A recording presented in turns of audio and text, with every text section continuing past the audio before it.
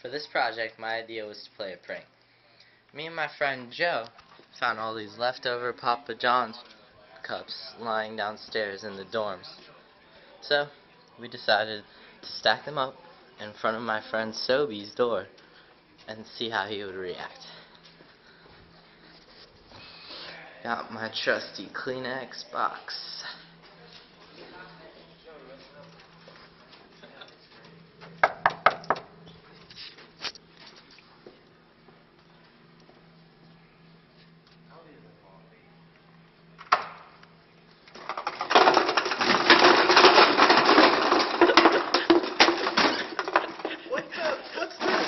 Não cry about.